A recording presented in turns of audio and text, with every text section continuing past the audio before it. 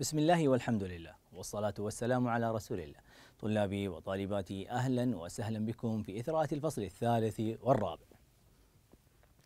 كنا في بداية دراستنا للفصل الثالث تعرفنا على حدود حجم الخلية وما هي المساحة أو نسبة مساحة السطح إلى حجم الخلية. فذكرنا بأن العامل الرئيس الذي يحدد حجم الخلية هو نسبة مساحة السطح إلى الحجم. كذلك ذكرنا بأن مساحة السطح هي المساحة التي يغطيها الغشاء البلازمي. هذا الغشاء الذي يحيط بالخلية ويغطي مساحة أو مساحة سطح الخلية. وذكرنا أيضا أنه مع نمو الخلية يزداد حجمها مقارنة بمساحة سطحها ولعلنا تعرفنا أنه كلما كان كبر حجم الخلية قلت نسبة المساحة السطح إلى الحجم. أيضا ذكرنا بأن هنالك قاعدة. هذه الخلايا تنمو لتصل إلى أقصى حجم لها ثم إما أنها تتوقف عن النمو أو أن هذه الخلية تبدأ في عملية الانقسام.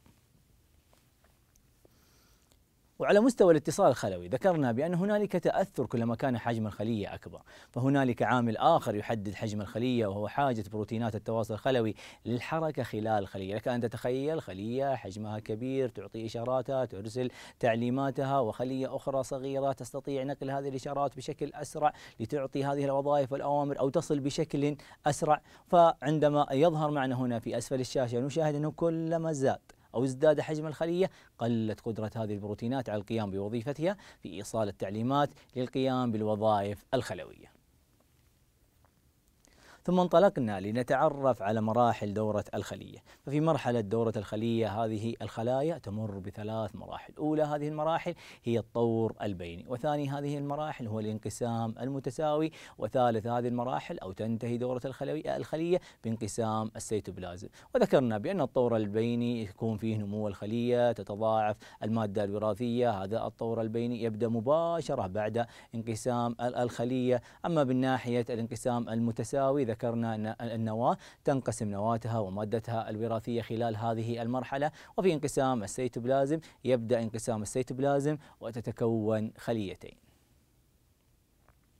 أيضا تعرفنا بشكل مفصل على زمن دورة الخلية. ذكرنا أن الخلايا تتباين من خلية إلى خلية بحسب حجمها بحسب المخلوق المتواجد فيه. فالخلايا ليست جميعها تنقسم في نفس الوقت وهنالك اختلاف على مستوى توقيت انقسام هذه الخلايا. خلايا تنقسم بالدقائق خلايا تحتاج إلى يوم كامل وذكرنا أن هنالك نوع من الخلايا يتواجد في الإنسان وبالتحديد في الكبد قد يستغرق مدة سنة كاملة تنقسم هذه الخلية. أيضا ذكرنا بأن هنالك خلايا تتوقف في الطور البيني مثل الخلايا العصبية والعضلية فهي لا تكمل عملية مرحلة الانقسام. فمثل ما يظهر معنا بعض الخلايا حقيقية النواة تكمل دورتها في ثمان دقائق وبعضها يستغرق عاما كاملا ومعظم الخلايا الحيوانية تستغرق من 12 إلى 24 ساعة. هنا في الطور البيني. ذكرنا بأنه هذا أو في أولى مراحل الانقسام المتساوي ظهر معنا في دورة الخلية هو الطور البيني، في الطور البيني هنالك صفات تتصف فيها الخلية أو بتعبير آخر هنالك مراحل أو حالة عامة لهذه الخلية، فالخلية في الطور البيني تنمو وتقوم بعملية الخلية الطبيعية ولكن في هذه المرحلة تحدث عملية التضاعف ال DNA أو بالتحديد في المرحلة الثانية من مرحلة الطور البيني مرحلة ال S بناء ال DNA تتم مرحلة تضاعف ال DNA ثم يأتي بعد الطور البيني ما أسميناه بالطور التمهيدي أبرز السمات تظهر على الخلية المنقسمة بأن الغلاف النووي يتلاشى تختفي النوية تتكاثف الكروموسومات تتكون الخيوط المغزلية بين الأقطاب. ونحن نشاهد هذه الصورة نلاحظ فعليا الكروموسومات بدأت تتكاثف بدأت تتضح هذه الكرومات. أيضا نشاهد التلاشي للغشاء النووي كذلك اختفاء للنوية في الطور الاستوائي مثل ما يظهر معنا هنا. لعل من مسماها هذه الكروموسومات ارتبطت ارتصت على خط استواء هذه الخلية. فترتبط الكروموسومات مع الخيوط المغزلية وتصطف على طول خط استواء الخلية. وفي مرحلة الطور الانفصالي نشاهد بأن هنالك انكماش لهذه الخيوط خيوط المغزل التي كانت تربط هذه الكروموسومات بعضها مع بعض ثم قامت بفصل الكروماتيدات الشقيقة. أيضا أمر مهم علقنا عليه واتفقنا سويا بأنه ما يظهر على شكل حرف X هو كروموسوم متضاعف هو كروموسوم متضاعف وليس كروموسوم واحد. في عملية الانقسام المتساوي في مرحلة الطور الانفصالي كان ينفصل هذا الكروموسوم إلى كروماتيد شقيق أول وكروماتيد شقيق ثاني كل واحد منهم يذهب إلى أحد أقطاب الخلية. إذا ما يظهر هذا الشكل الذي نشاهده دائما يعبر عن كروموسومات على حرف X هي صورة للكروموسوم المتضاعف. وأنتم تتذكرون نحن ندرس في دروس أو بالتحديد في المخطط الكروموسومي ذكرنا أن العلماء يقومون بالتقاط صورة لهذه الكروموسومات متى في الطور الاستوائي لماذا؟ لأن هذه المرحلة تكون واضحة الكروموسومات تكون فيها متكاثفة لذلك ما يظهر بشكل X هو كروموسوم متضاعف لا يعبر عن كروموسوم واحد عندما تحدث عملية الانفصال سوف ينفصل أحد الكروموسوم أو نسميه بالكروماتيد الشقيق في الجزء الأول والكروماتيد الشقيق في القطب الثاني من الخلية. في آخر مراحل الطور أو الانقسام المتساوي أو في دورة الخلية في الطور النهائي تصل الكروموسومات إلى قطبي الخلية. ويتكون الغلاف النووي مرة أخرى وكأنها بطريقة معاكسة لما حدث في عملية أو في الطور التمهيدي. هنا نشاهد بأن الكروموسومات آه، وصلت إلى قطبي الخلية. هنا نشاهد أن الغلاف النووي عاد بدأ يتكون مرة أخرى. كذلك نشاهد آه، آه، وضوح وظهور في الخليتين المنقسمة لهذه النوية فالنوية عادت لتظهر مرة أخرى. أيضا نشاهد بأن هذه الكروموسومات بدأت تقل كثافتها. ثم انتقلنا نتعرف على ما هي الانقسامات الغير طبيعية بعد أن تعرفنا على الدورة الطبيعية للخلية وزمن الخلايا وما هي مراحل الانقسام. بدأنا بطريقة أخرى نتعرف ما هي المراحل أو ما هي الانقسامات الغير طبيعية ما هو نتاج هذه الانقسامات. لعلنا عندما تعرفنا على مرض السرطان جرنا الله وإياكم. ذكرنا بأنه نمو الخلايا وانقسامها بشكل غير منتظم. بمعنى أدق فشل في تنظيم دورة الخلية. كان هنالك بروتينات حلقية ترتبط لتنظم عمليات أو مراحل هذه الخلية تنتقل أو عندما تنتقل الخلية من مرحلة إلى مرحلة كان هنالك إشارات ضبط كان هنالك بروتينات تتحكم في هذه العملية. أيضا تعرفنا على الطفرات وذكرنا بأن هنالك أو بشكل أدق في المرحلة الأولى أو صف أول ثانوي ذكرنا بأن الطفرات يتغير عشوائي ومفاجئ في ترتيب تسلسل الدي ان ولكن هذه الطفرات قد تكون ناتجة عن عوامل بيئية قد تكون ناتجة عن عوامل داخلية. من عوامل على مستوى العوامل البيئية ذكرنا الأشعة التدخين المواد الكيميائية جميعها من العوامل لهذه الطفرات. أيضا من الممكن أن تكون للوراثة عندما نقول عوامل داخلية نقصد بها الوراثة من الممكن أن يورث الإنسان خلايا تكون مهيئة للسرطان أو تزيد نسبة حدوث السرطان فيها بشكل أكبر.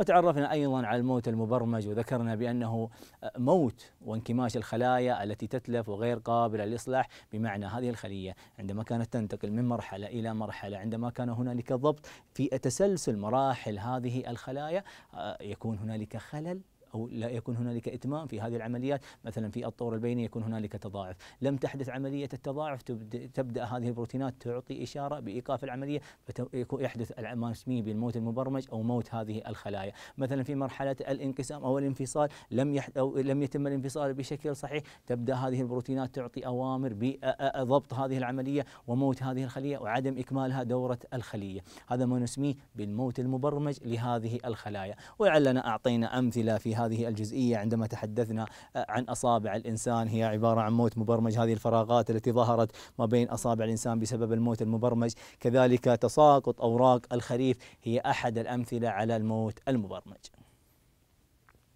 أيضا تعرفنا سويا على ما أسميناه بالخلايا الجذعية. ذكرنا بأنها خلايا غير متخصصة تنمو لتصبح متخصصة في الظروف المناسبة. هذه الخلايا ممكن تكون خلايا جذعية جنينية وقد تكون خلايا جذعية مكتملة النمو. فالخلايا الجذعية مثل ما ذكرنا هي خلايا غير متخصصة.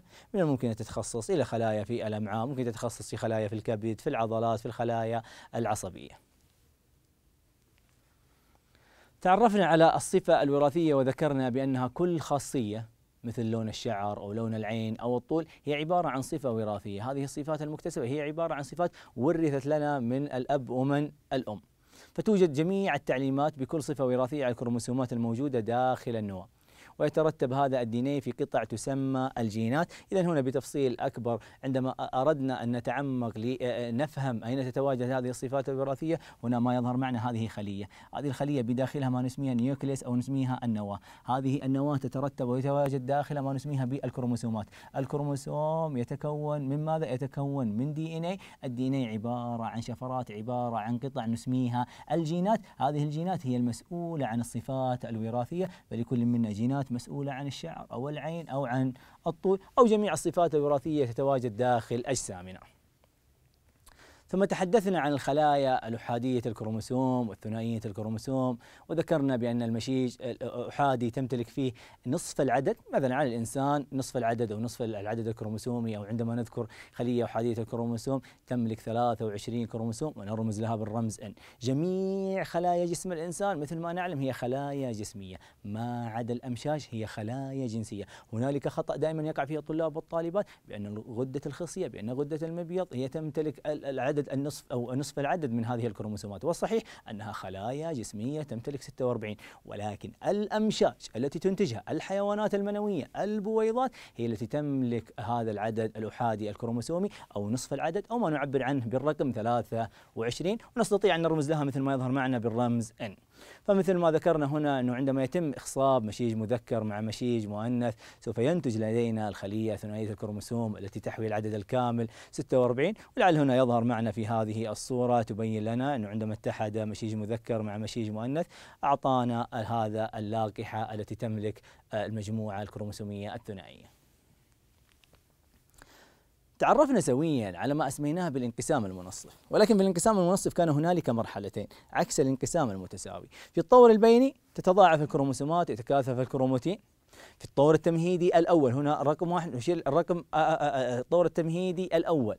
تقترب أزواج الكروموسومات المتماثلة بعضها من بعض وكل كروموسوم يتكون من كروماتيدين شقيقين، اذا اذا نتذكر في الانقسام المتساوي. كان لدينا كروموسوم واحد مكون من كروماتيد شقيق أول كروماتيد شقيق ثاني.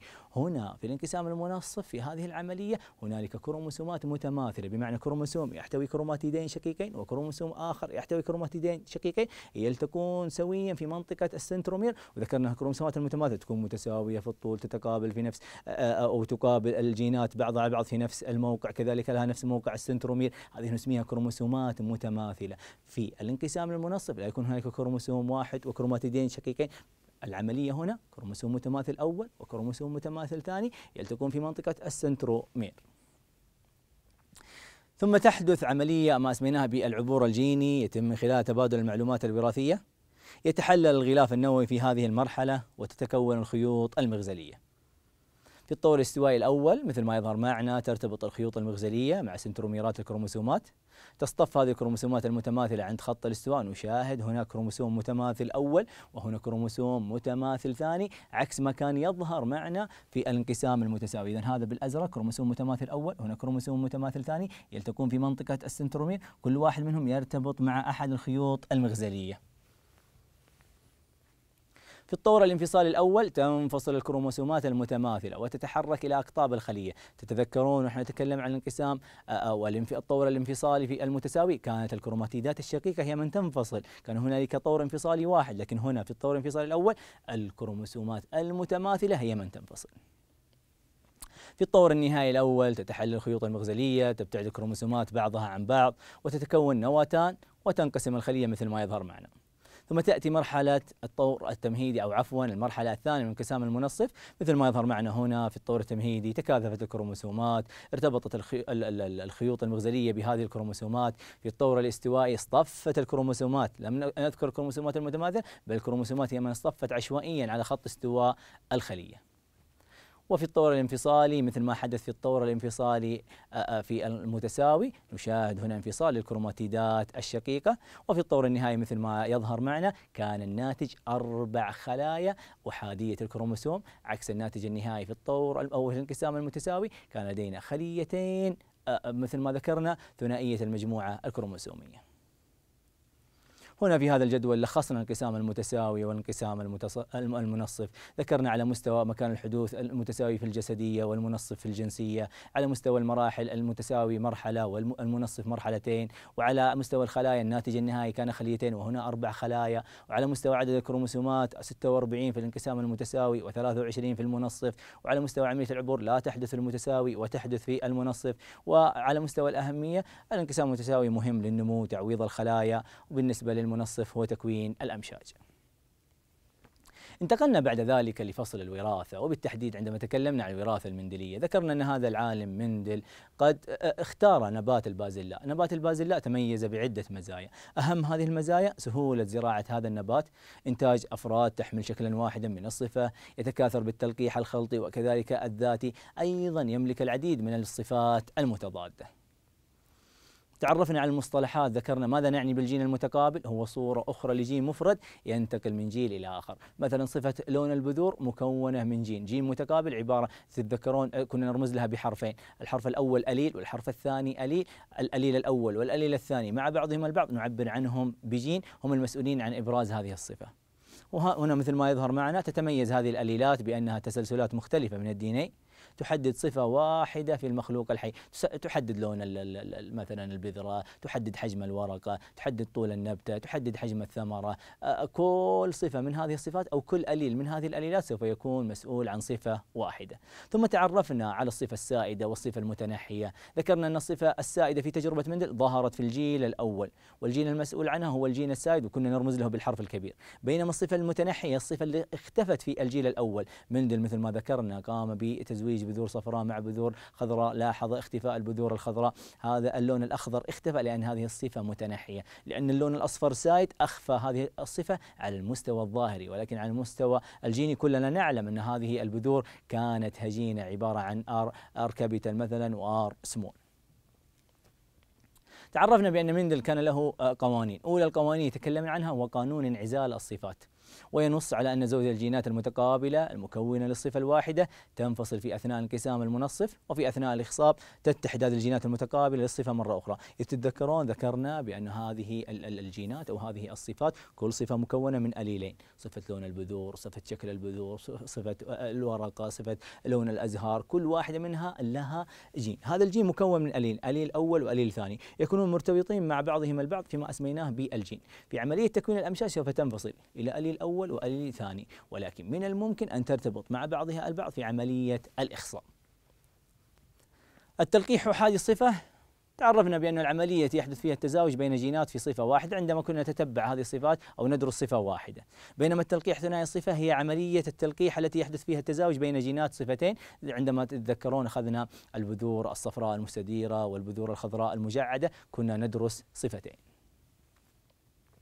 ثم تعرفنا على مربع بنت وهذا المربع وضعه الدكتور بنت في عام 1900 يستعمل أو يستعمل لتوقع الأبناء المحتملين والناتجين عن عملية التلقيح بين طرازين جينيين. وأهم فكرة دائما لحل أي مسألة وراثية أهم فكرة هو تحديد الطرز الجينية. هنا طراز أول مثلوا بالذكر وهنا مثلوا بالأنثى. عندما نريد تفصيل هذه العملية استخدام مربع بانت نحن نفصل هذه الأليلات. الأليل الأول يكون هنا هنا T capital وهنا T small بنفس الفكرة هنا T capital وهنا T small هنا ما نسميه بمربع بانت. من خلال هذا المربع نحن نتخيل نتوقع ما هو نتاج الأبناء الذين سوف يتم إنتاجهم. من خلال هذا الذكر وهذه الأنثى وهنا هذه الاحتمالات المتوقعة. ليس بالضرورة أن كل ما يكتب في مربع بانت سوف تكون آه، هي تأكيدية. ولكن بنسبة كبيرة هذه الصفات التي تظهر لدى الأبناء أو هؤلاء الأبناء بهذه الجينات هي صفات متوقعة. احتمالات ظهورها تكون كبيرة ولكن مثل ما ذكرنا لا نتخيل أنها سوف تظهر الظهر بالتحديد لأنه من الممكن يكون هنالك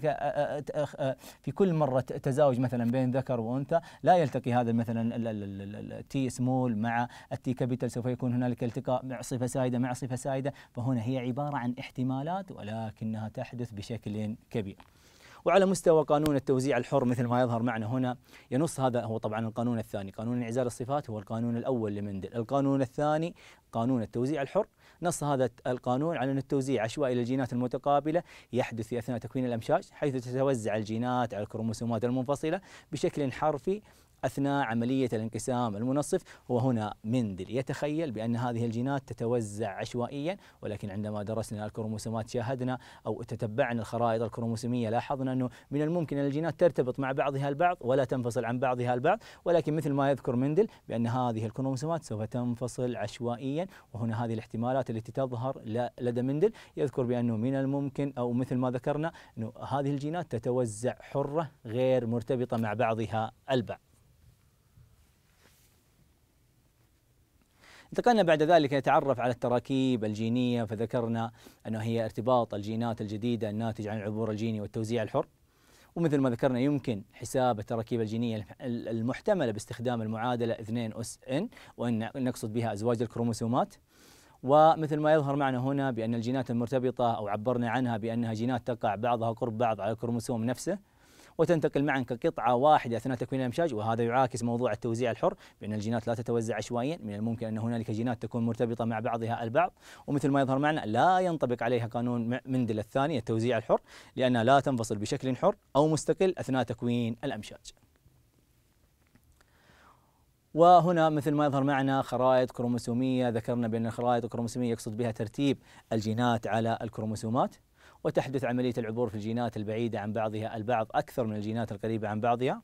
ووحدة خريطة واحدة هي المسافة ما بين آه، ما يظهر معنا ما بين جينين على كروموسوم واحد. إذا هنا عندما نشير بالرسم هذه خريطة كروموسومية لهذه الذبابة. هنا هذه الصفة مسؤولة عن لون العين القرمزي وهذه مسؤولة عن لون أو هذا الجين مسؤول عن آه، لون العين الأبيض. وهنا هذا اللون الأصفر مسؤول عن لون الجسم الأصفر. هذه الكروموسومات تترتب تتوزع على كروموسومات هذه الذبابة. المسافة ما بين جين وجين نسميها آه، وحدة خريطة واحدة. لكل المخلوقات الحية خرائط كروموسومية ومثل ما ذكرنا أن خرائط هذه الذبابة هي أولى الخرائط التي اكتشفها العلماء. العلماء أيضا يذكرون بأن عملية العبور تحدث ما بين الجينات البعيدة أكثر من الجينات القريبة. بمعنى أن هذا الجين عملية عبوره أو احتمال عبوره أكبر من احتمال عبور هذا الجين عن اللون القرمزي